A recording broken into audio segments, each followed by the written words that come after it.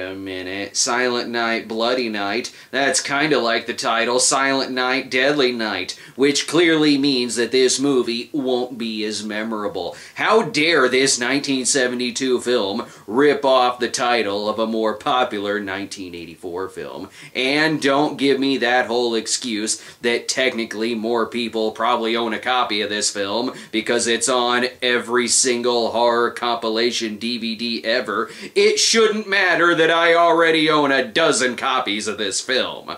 Silent Night, Bloody Night is a Christmas themed horror film about spooky, murderous things happening in a horrible death house. Death houses are funny like that. They keep trying to sell this thing, but the bodies keep piling up. And worse yet, it has mold. The movie was filmed in 1970 under the title Night of the Dark Full Moon and had a good life in the drive-in circuit before landing in the public domain. And unlike Silent Night, Deadly Night, no parents protested this movie's existence, probably because they had more important shit to do in 1972. Alright, let's start this thing. Oh great, the movie is already lost. It's beautiful now, as if nothing had happened here. If nothing happened, then why am I watching it? The main house in the film was built by Wilfred Butler. It rests in a weird place where snow can suddenly transition in over a sunny day. Unfortunately, it's right next to a hog plant. Other than that, I doubt that there's anything wrong with this house. Uh,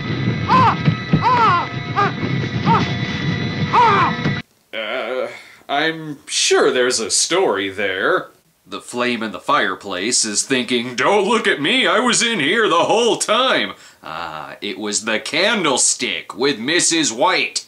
And in case you didn't know, Wilfred died from the fire. That the deceased, Wilfred Butler, died as a result of burns inflicted accidentally upon himself Ugh, those old-timey photos taken post-mortem are creepy. This is a Cannon production, though, so it's possible the fire could have been started by Chuck Norris. Hey, go ahead and cut to the alternate title card. This is a Christmas film, though, so let's hear a little bit of that Christmas music.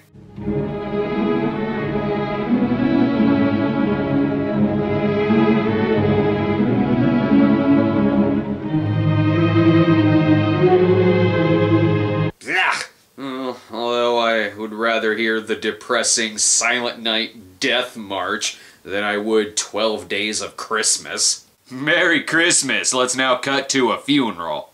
After the coroner's inquest, on New Year's Day, they buried Wilfred Butler. There was no one there to mourn him. Mainly because we couldn't afford a lot of extras. They couldn't even get a full set of pallbearers. Look at this lazy ass, not even helping! They don't even care what year he died, just that he's finally dead. 20 years later, though, the house is finally being sold by Wilfred's grandson, Jeffrey. They're burning this flyer because it may contain spoilers. Not that you won't be instantly distracted by the next scene.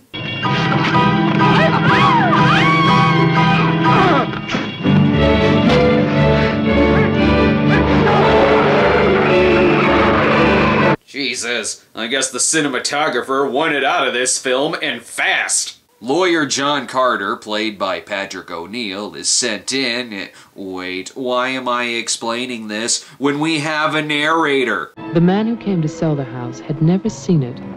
He was a lawyer from the city, just doing a job and enjoying it. You don't have to explain everything to me. I can figure some shit out myself. Carter is sent to make sure the house is sold by noon. Hmm, this room would be great for a McDonald's play place. The angry cinematographer regrets burning those bridges. He just got offered to film The Taming of Rebecca, and he hates needles. The new cinematographer, however, gets easily distracted. Yes, thank you, those are birds.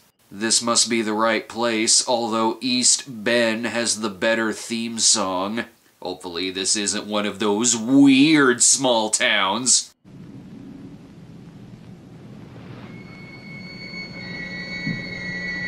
Mr. Carter. Mr. Mayor. Yikes. Dean Stockwell is definitely going to be singing In Dreams somewhere in this town. hey, that's John Carradine. I bet he's got some great lines. The matter concerns the house that he inherited from his grandfather, Wilfred Butler. It must have been very hard. It must have been hate. Hmm, thank you, Don Hector. This seems like an easier role than the one he had in Frankenstein Island. By God, so much talking. Cut to something more interesting.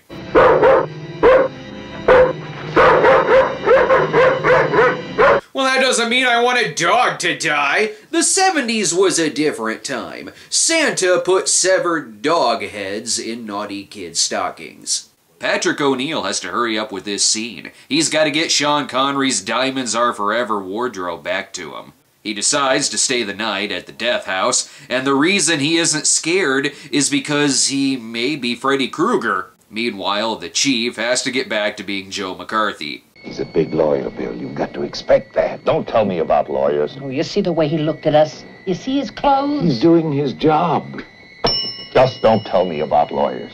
What is he, Chewbacca with a bell? How do they understand him? I can tell everyone's having a fun time in this film. Yeah, well, as a matter of fact, I'm, uh, I'm having a fine time. I totally believe you. The only thing that cheers him up is the fact that he hid John Carradine's call bell. Now he actually has to talk. What then? Tear it down. Ish, the voice has seen better days. Oops, sorry, the Deadites have already moved in. Might as well stay anyway. Wow, Denise Richards has truly never aged.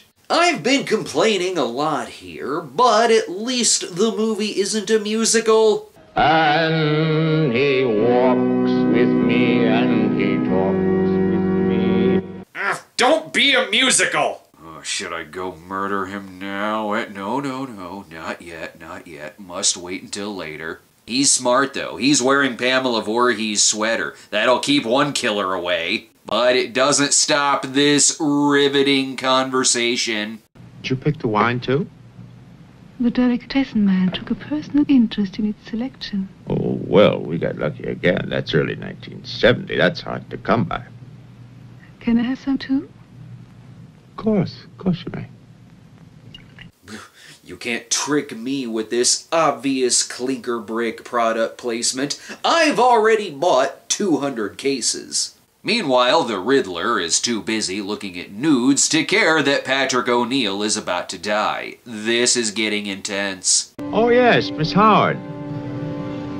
Yeah, the phone's working fine. Uh, very nice of you to call. Thank you. Good night. Oh my god, their phones are working. I was worried they'd be paying their phone bill for nothing. This may look hot, but those furs haven't been cleaned. It's a bloody mess under there. Ah, good, the James Gandolfini and Shelley Duvall photos are still there. Now we can cut to our topless scene. I know they're having sex in a horror film, but surely they won't kill off their top billed actor.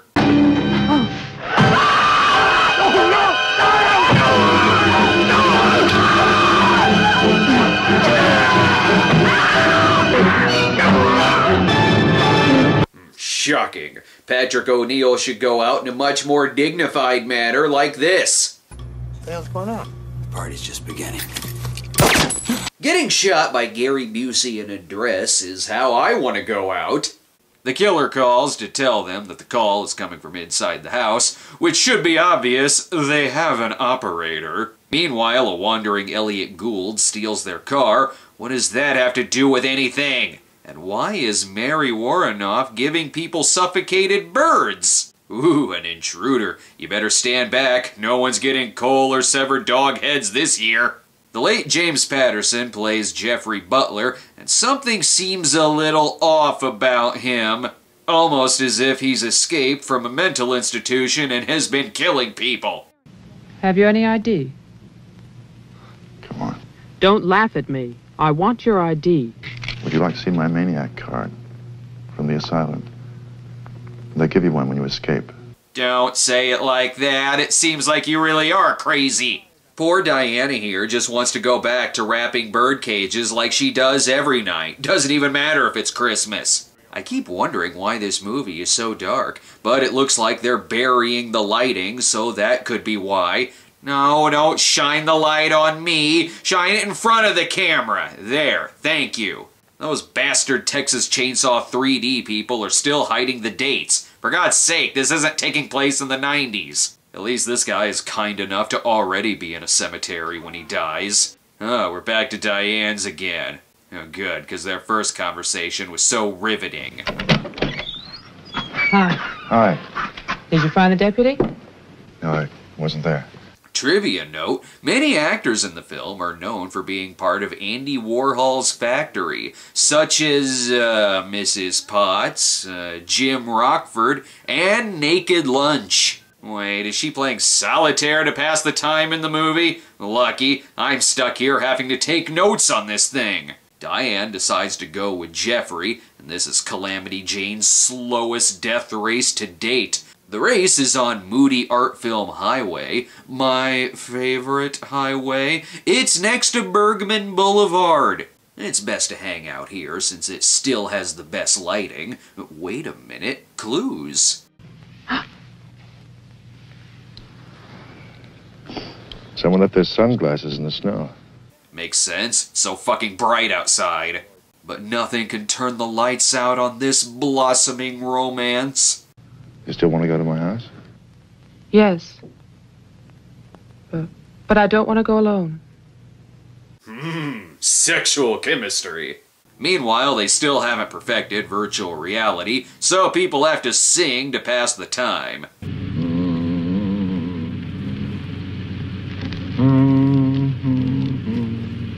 Is this movie actively trying to put me to sleep?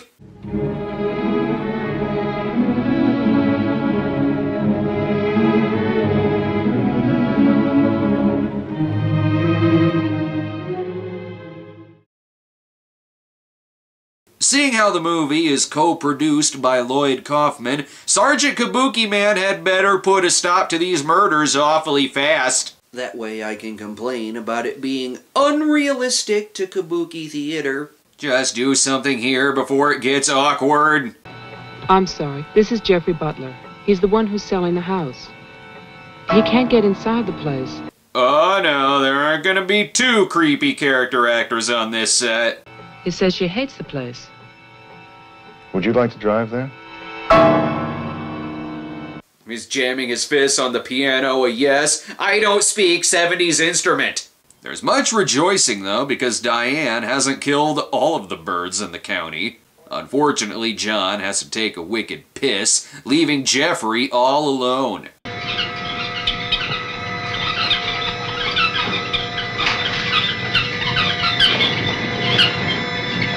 It's what Diane would have wanted. Surely Death House won't kill an old woman, though. Even a Death House has standards. He's just gonna sweat the information out of her instead. He really needs to know where Lips Manlis is. Oh, and Death House doesn't have standards. I was wrong. But we do get to hear more Death House backstory.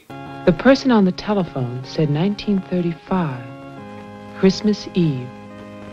But that's not the beginning. But more importantly, the showplace 8 is first built in Springfield. Oh, and we find out more about Wilfred's daughter, Mary Ann. Wilfred Butler's daughter is cruelly attacked and raped. Her name is Mary Ann. Yeah, I don't like a very grindhouse Christmas. So much for this movie getting its security deposit back. Oh, good. These two together again. Joe, how old are you? How old am I? You mean, how many years have I lived? No. There's a lot in the paper about your family. I don't want to talk about my family. Wait a minute. There's a woman calling, and she says her name is Mary Ann. That was your mother's name, wasn't it? Hey, let him answer the age question first. I've been dying to know, apparently. First, the movie stole James Bond's suit, and now his car. Will the thievery end? On the plus side, they finally have some proper lighting, and back to that death race.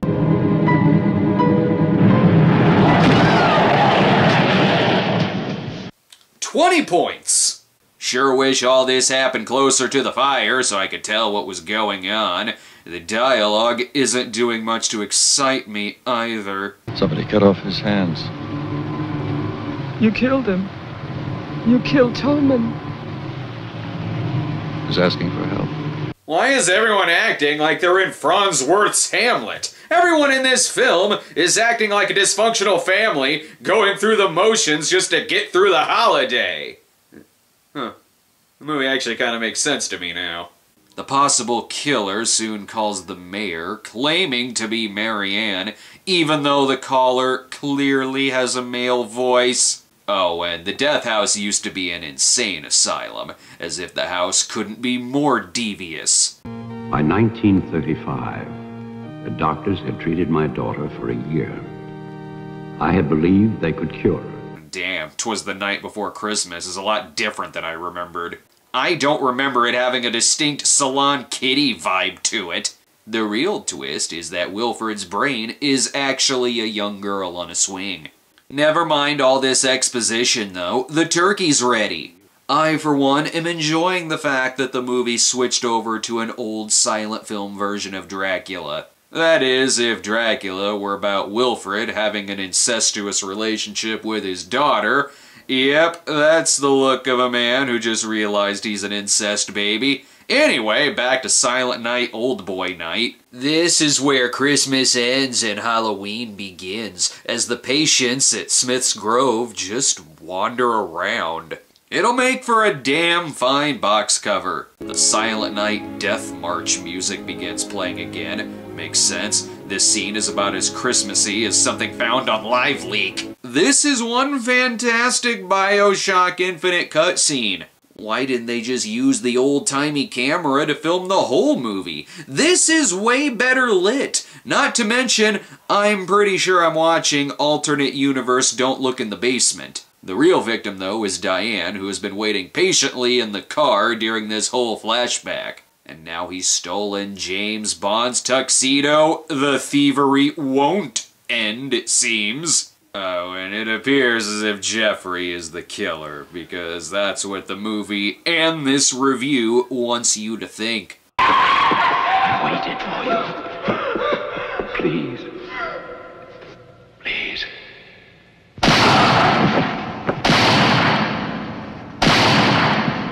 Psych! The killer is Incest Dad! Even though Jeffrey was driving some of the victims' cars, holding weapons used in previous killing sprees, driving to and from the crime scenes, and killing random birds, I disagree with this movie's twist that Wilfred is the killer. Not that Diane cares. She can't even bring herself to protest in front of a bulldozer to save the trees. They will tear down Wilfred Butler's monument. But they can never destroy my memories. I've already forgotten what happened here, and I just watched the thing. So is Patrick O'Neal the killer? I got no time for moody, slow burn thrillers with an extra dose of sleaze. I need more senseless violence in my horror films. That way I can complain about that instead. Well, some characters hummed Christmas music. Christmas is mentioned a couple of times. Hans Gruber's other brother, Franz Gruber, did the music. And it's a more realistic movie than Last Ounce of Courage. So, I guess it's a Christmas film.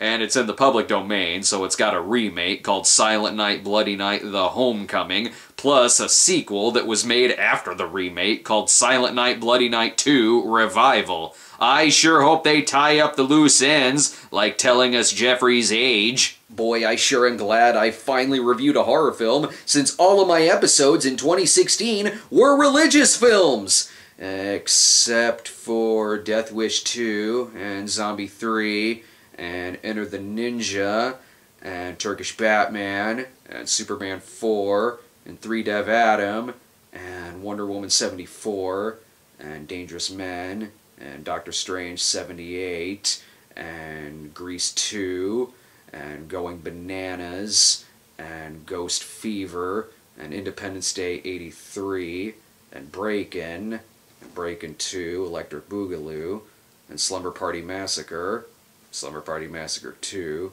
Friday the 13th, Part 7, Halloween 6, the theatrical version, Halloween 6, the producer's cut, Trick or Treat, Spaced Invaders, The Magic Christmas Tree. Oh wow, man, there there really were no other genres to choose from in 2016. Damn. And Bushwhacked, and Donald Tramp, and 10 Inch Mutant Ninja Turtles, and Sex Trek, and Strokemon, and. Night, Mr. Toman. Have a nice holiday.